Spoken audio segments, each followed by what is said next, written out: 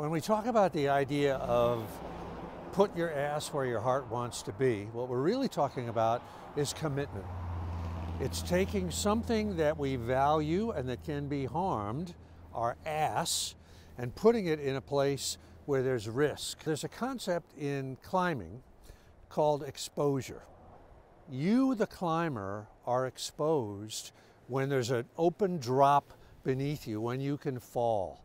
But if there's a shelf that protects you, like this little shelf right here, you're not exposed because you can always put your feet down on here. So when we say, put your ass where your heart wants to be, we're talking about the risk of exposed, the risk of falling. You could be 100 feet from the summit of Everest, but if there's a rock shelf underneath you, you're not exposed. On the other hand, you can be right here, right at, at the sea level, and just up here 10 feet on this overhang, and you are exposed.